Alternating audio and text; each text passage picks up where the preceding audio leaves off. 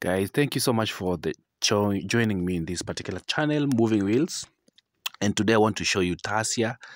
Tassia is one of the estates or small towns in nairobi. There is a time i showed you tassia slums but now i'm showing you tassia, tassia estates which is actually also very huge. And this place has very nice houses. As you can be able to see flats and so many estates, different names.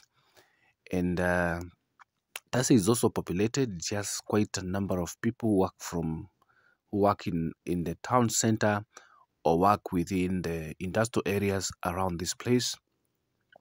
And this is where they stay. And the place is nicely done. Um, most of the estates are gated community, as you can be able to see.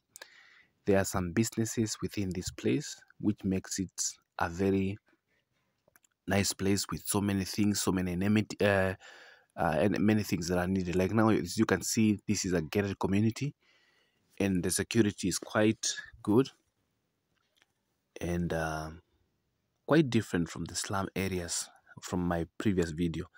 If you have not seen my previous video, kindly I want to ask you just check Tassia slums and you'll be able to see the difference. So this is where the rich people of Tassia live. Uh, people that have bought these houses and they are capable of either renting or paying for them.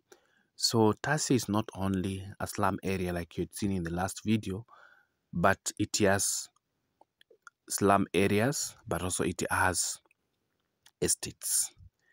Now from here you can see there are actually so many. I never covered all the estates there are so many huge houses, big flats, and even some houses that are just personal houses, um, self contained houses. But the flats are quite nice, and um, people, we have many people who stay in this place. It is opposite Outer Ring Road. Check my other video about Outer Ring Road, and you'll be able to see the way Tassia estates are and they're looking wonderful and i will continue bringing you more content like this as you can be able to see. If you have not subscribed to my channel kindly do. Search moving wheels and you'll see many many news and see many contents that are going to come on your way. Thank you again for watching. Bye bye for now